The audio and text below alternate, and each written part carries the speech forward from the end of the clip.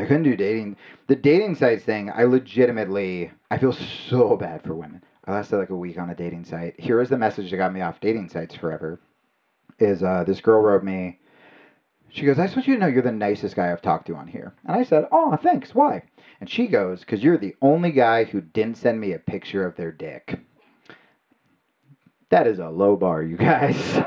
That's all you have to do to be the nicest guy is not how many dicks have you poor girls seen? That's all to be the nice not to be a nice guy to be the nicest guy. It's like so who is sending dicks? Statistically some of you are. Probably people would see a comedy show during a fucking pandemic. Stop sending fucking dicks. Stop do who the fuck is doing all you have the nicest the night the nicest guy. Is just not virtually sexually assault someone and you're like a Ryan Gosling 12 ooh sweet mercy mercy me. What kind of an- that's what you used to do when you were a kid. you'd take your little dick out and you'd chase your friends and be like, "We're still doing." Stop fucking doing that. Honestly, like who is? When has that ever worked?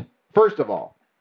Like when is sending an unsolicited dick picture? When have you ever heard like a couple's origin story? it's like, well, I knew your father was the one.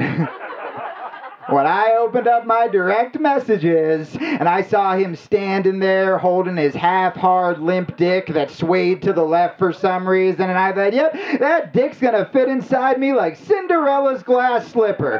When I saw your father standing in front of that Fight Club poster holding his droopy balls, I was like, mm-hmm, those balls are gonna begrudgingly pump children inside of me for the next 30 years until one of them grows up to be bitter enough to do stand up comedy during during a viral outbreak.